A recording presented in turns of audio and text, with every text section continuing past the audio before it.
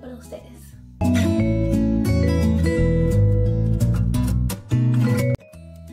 La manualidad es hacernos un lindo collar. ¿Pero de qué lo vamos a hacer? Ahora les enseño los materiales.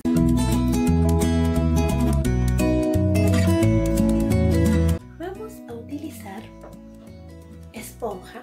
Esta esponja de acá es una esponja reciclada que yo ya tenía, pero solo vamos a usar un pedacito. Un palito de brochetas, como el que está acá, pequeño.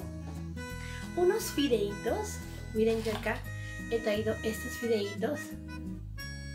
Son tipo tubito, pero pueden elegir el que ustedes quieran. Pueden ser chiquitos aritos, pueden ser grandes o macarrones, lo que ustedes decidan. Pero fíjense que sean que se puedan introducir algo por ahí porque vamos a hacer un collar con fideos. Y témperas, por ejemplo yo acá tengo témperas de muchos colores. Y esos colores los podemos mezclar, ¿verdad? Para hacer variedad de colores. Entonces, ¿cómo lo vamos a hacer? Ahora les explico cómo lo vamos a hacer.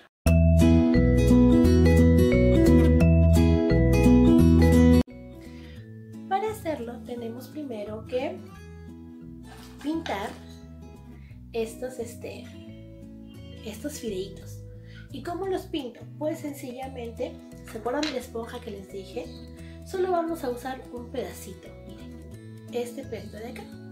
¿Y cómo lo vamos a hacer? Vamos a vaciar en mi tupper, que es de plástico, que ya no lo uso, voy a vaciar acá pintura. Por ejemplo, pintura amarilla. Voy a vaciar acá un poquito de pintura amarilla. En mi recipiente yo ya he puesto los cuatro colores, amarillo, rojo, verde y azul. Pero quiero hacer color naranja, así que pondré un poco de rojo con un poco más de amarillo para que me salga el color naranja. Y lo mezclo así. ¿Ven? ¿Qué color me dio? Anaranjada. Muy bien. Y así obtengo un color más. Muy bien. Ahora sí, voy a pintar. Aquí están los cuatro colores de mi témpera con la que he mezclado. Y aquí, para esto, voy a usar mi esponjita. Solamente un pedacito. Miren, yo he cortado un pedacito para poder untar y pintar mis, mis fideitos. Pero ¿qué pasa? ¿Cómo lo voy a hacer? Miren, ¿se acuerdan que les dije que había un palito de brocheta? Eso lo voy a introducir en mi ganchito de ropa, que le he puesto ahí servilleta.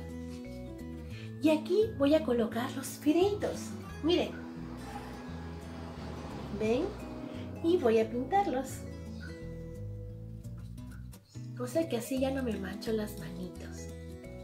Y solamente pinto el fideo.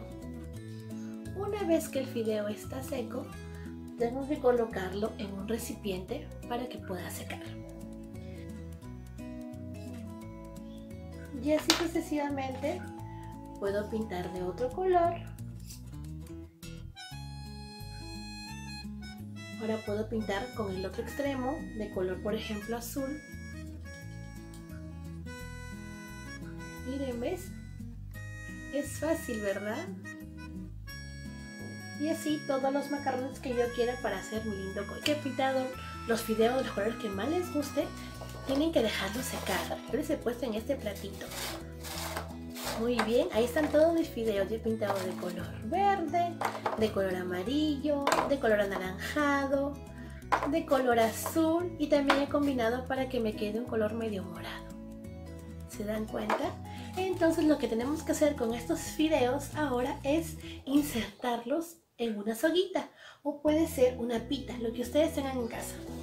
Vamos a realizar. Mi pita acá, que es de color celeste, que me gusta mucho. Lo que voy a hacer es esta pitita, es que mamá la coja, mamá o alguien que me pueda ayudar para que no se me caigan los fideos por ese extremo.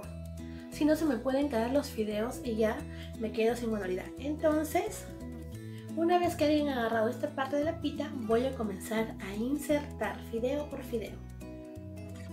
Miren, así. Ahí va un fideito del color que más me gusta. Por ejemplo, yo voy a ponerlo de colores. Si quieren, ustedes pueden ponerlos todos de un solo color. Depende de ustedes. Ya está. Yo ya los inserté dentro de mi pita o de mi soguita, como los quieran, lo que ustedes deseen. Y ahora me lo voy a colocar. Lo pueden usar ustedes o se lo pueden regalar a mamá o a la abuelita con los que ustedes vivan. También le pueden regalar a su hermanita y pueden hacer los collares que ustedes decidan. Y se lo van a colocar. Miren, ya está mis pequeños. Es simple, es rápido, es muy divertido y lo pueden hacer en compañía de su familia, con sus hermanitos o con mamita. Pueden hacer los collares que ustedes quieran, de otros tipos de fideos también si desean y lo pueden usar en casita. Tal vez para jugar a algo con mamá y papá. No se olviden de enviarme sus fotitos de su linda manualidad que han hecho para yo colgarlo en el Facebook.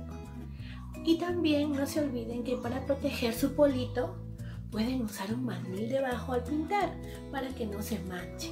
Ya mis pequeños, nos vemos, espero que les haya gustado la manualidad y no se olviden de lavarse bien las manitas cuando terminen de hacer su trabajito. Los quiero mucho.